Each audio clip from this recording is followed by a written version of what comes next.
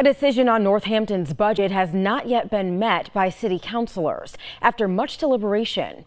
This comes after protesters gathered outside City Hall to voice their opposition to layoffs of nearly 20 teachers. Many believe that using more of the city's rainy day money is necessary to prevent these layoffs. Protesters are urging the mayor and city council to fully fund the school district and save the positions that could be lost if the mayor's proposed $40 million budget is passed. Despite an increase of $1.3 million to the school budget, protesters argue that an additional $2 million is needed for level funding and for students to continue receiving the necessary services have a lot of revenue that has come in and profit that the city has put aside for special projects.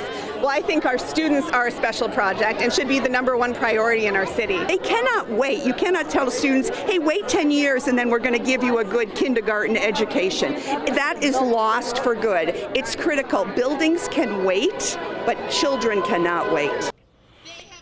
It's the goal of the City Council to strike a balance between the needs of education, sidewalks, and city projects. Some councilors and mayors say to avoid tapping the Capital Stabilization Fund because it's tied to five-year infrastructure projects.